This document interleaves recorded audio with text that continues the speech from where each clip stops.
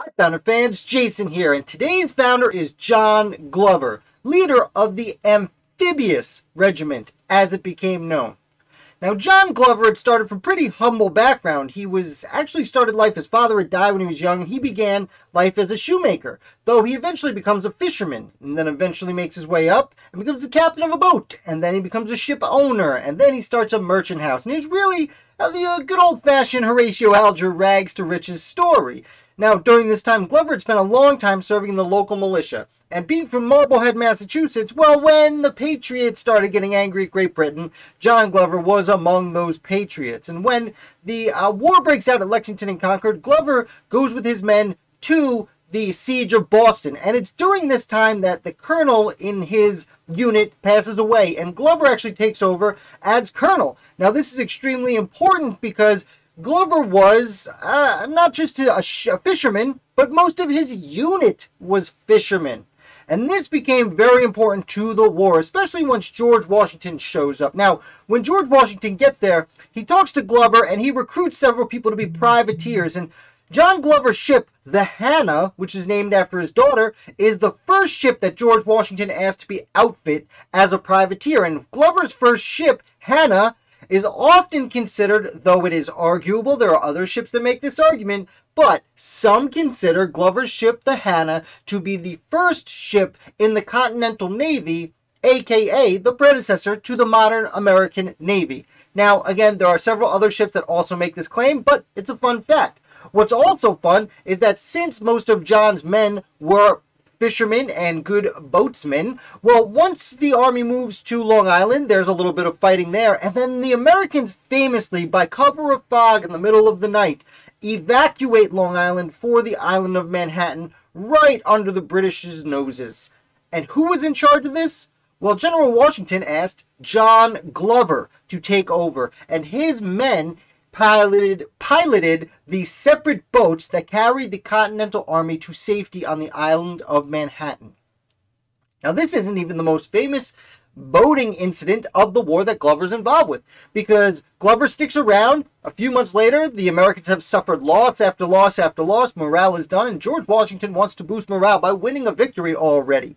And this is done famously at the battles of Trenton and Princeton. But before they go to Trenton and Princeton, they have to cross the Delaware. The icy, freezing cold Delaware. It's one of the most famous events in American history. And you might see where I'm going with this because who was it that George Washington went to and said, hey, can you get my army across this Delaware? Well, of course, he went to John Glover and his regiment, I believe it was the 14th Regiment of Massachusetts that uh, eventually falls into the Continental Army. They are generally known as the amphibious, I can't say that word, amphibious regiment, although that's an unofficial title. And Glover's amphibious regiment gets all the Continental Army that they can get onto little boats and rows them across. He organizes all these separate boats into one unifying landing force. Now, he's only able to get about half the Continental Army across the water. It was extremely icy. It was a very dangerous trip. It was the middle of the night. There are various reasons he had setbacks, but this, one of George Washington's most famous moments, is actually orchestrated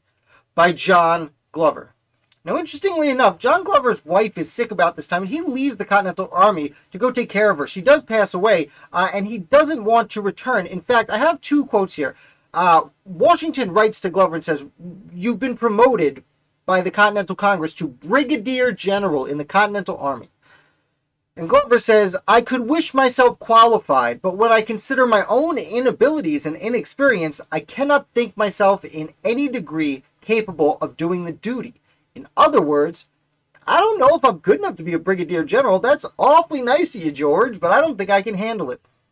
George Washington is not a man you say no to, because I have another quote here from Washington in response to Glover's letter.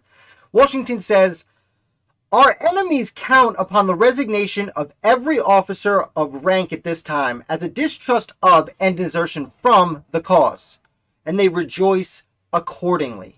In other words, if you don't come back and serve as Brigadier General, you're doing exactly what the British want because they get to say to their men, look, the officers in the Continental Army don't even want to serve. And with that, John Glover quickly changed his mind and promptly returned to George Washington. He serves through most of the war, though he does fall to ill health uh, uh, a little bit later, in 1782, so after Yorktown, after most of the hostilities are really over, uh, he does resign before technically the war is declared over, but he serves for almost the whole thing. Uh, and then serves a lot in the local government. He ends up being part of Massachusetts Ratification Convention for the Constitution, serves the Massachusetts Assembly for several years, uh, but mostly sticks to local government and passes away uh, just about the time John Adams is becoming president. So that's a brief overview of the life of John Glover, leader of the Amphibious Regiment, which I'm finally saying correctly at the end of the video. Thank you so much for watching. I hope you enjoyed it. If you did, hit like. If you're new here, definitely subscribe for more Revolution content all week long and a different founder of the day every single morning. I will be back with you tomorrow with tomorrow's founder.